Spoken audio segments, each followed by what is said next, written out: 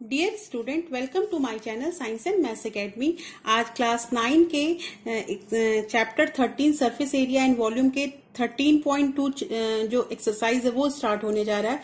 इससे पहले मैंने आपको सिलेंडर का कर्व सरफेस एरिया और टोटल सरफेस एरिया का जो फॉर्मूला है और सिलेंडर के पूरे बेसिक के बारे में इस प्रीवियस वीडियो में मैंने पूरी तरह से एक्सप्लेन कर लिया है। अगर आपने नहीं देखा होगा तो प्लीज़ आप उसको चेकआउट कर लीजिएगा। लिंक मैं डिस्क्रिप्शन में दे दूँगी। और यहाँ पे हम क्वेश्चन नंबर वन से स्टार्ट करेंगे कि 13.2 में जो क्वेश्चन नंबर वन है, वो है क्या? और क्वेश्चन को समझने के बाद कैसे सॉल्व करना है ये हम इसमें समझेंगे। But before starting the video अगर आप मेरे चैनल पे नए हैं तो प्लीज़ सब्सक्राइब कीजिए साइंस एंड मैथ्स एकेडमी को। और वीडियो पसंद आए तो लाइक करना बिल्कुल मत भूलिएगा। तो स्टार्ट करते हैं video here the question is the curve surface area of a right circular cylinder of height 14 centimetre height given है हमको सिलेंडर uh, का। इज़ 88 सेंटीमीटर स्क्वायर, ये क्या है? Curve surface area. तो find the diameter of the base of the cylinder तो उस cylinder का हमें डायमीटर निकालना है। तो डायमीटर निकालने के लिए सबसे पहले हम क्या निकालेंगे? Radius curve surface area given ही है हाइट गिवन ही है। तो हम फॉर्मूला के अकॉर्डिंग कर्व सरफेस एरिया का फॉर्मूला क्या होता है? टू पाई आर एच उस पर पुट करके हम आर का वैल्यू निकाल लेंगे। और आर आ जाएगा तो उसको हम टू से मल्टीप्लाई कर देंगे डायमीटर हो जाएगा। तो इसको सॉल्व करते हैं। वेरी इजी क्वेश्चन यहाँ पे जो गिवन है, पहले हम वो लिख देंगे कि curve surface area of cylinder is 88 centimetre square and height is 14 centimetre square तो अब हमें क्या निकालना है? रेडियस तो सबसे पहले हम रेडियस को फाइंड करें। एग्जैक्टली exactly हमें आंसर देना है डायमीटर में बट रेडियस को पहले फाइंड करेंगे हम। तो C S A of cylinder मैंने फॉर्मूला आपको बता रखा है, वो हमें गिवन है 88 बट हम जानते हैं फॉर्मूला क्या होता है? Two pi r h is equal to eighty लिख सकते हैं हम। तो अब हम यहाँ पे वैल्यू पुट करेंगे two into twenty two by seven pi का वैल्यू आर हमें पता नहीं एच कितना है? Fourteen is equal to eighty eight तो अब इसे हम सॉल्व कर लेते हैं और आर का वैल्यू हमारा आ जाएगा एट्टी एट इंटू सेवन और नीचे हो जाएगा two into twenty two into fourteen अब हम इसे कट करते हैं.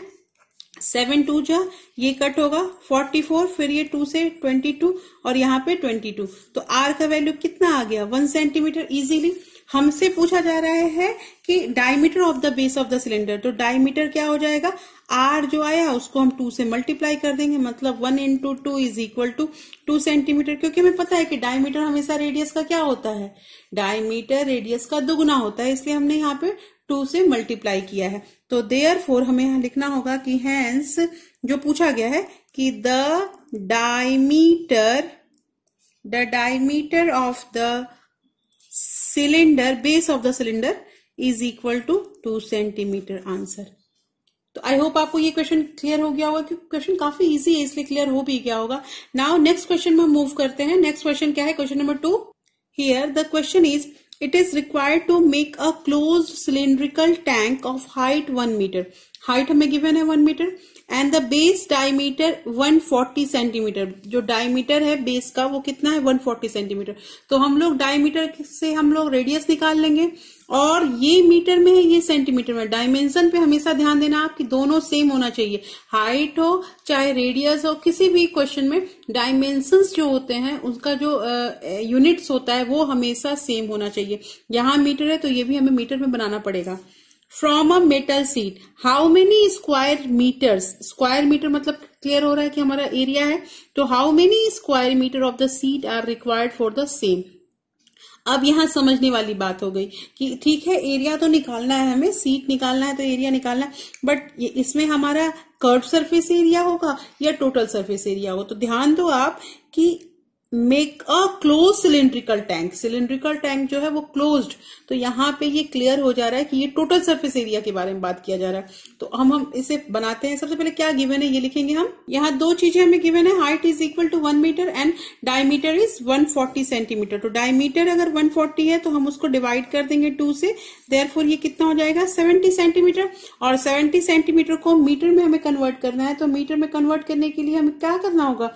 हमें हंड्रेड से डिवाइड करना होगा। हम क्लियर यहाँ पे लिख देते हैं zero point seven zero metre लिख सकते हैं? क्योंकि हमने इसको क्या किया? मीटर में कन्वर्ट कर दिया। अब हम टोटल सरफेस एरिया का फॉर्मूला लगाएँगे। टी एस से ऑफ़ सिलेंडर टी एस से ऑफ़ सिलेंडर क्या होता है? फॉर्मूला हमारा क्या होता है?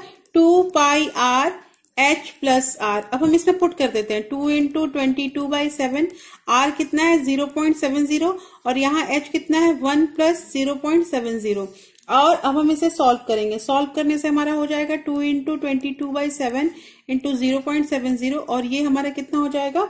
वन पॉइंट सेवन लिख सकते हैं हम ऐसा? और हम जब इसे कैलकुलेट करेंगे, आगे जो भी है उसको हम अगर बनाते हैं तो हमारा यहाँ पे आंसर हो जाएगा। ये कैलकुलेट करने पे 7.48 मीटर स्क्वायर तो हमें क्या है क्वेश्चन की सीट रिक्वायरमेंट तो हम लिखेंगे hence the sheet required sheet required to make a जो चीज़ पूछा गया to make a closed cylindrical cylindrical tank is 7.48 metre square बस यही क्वेश्चन हमसे पूछा गया था। तो आई होप आपको ये भी क्वेश्चन क्लियर हुआ होगा। और अगर क्लियर हुआ है तो ठीक है।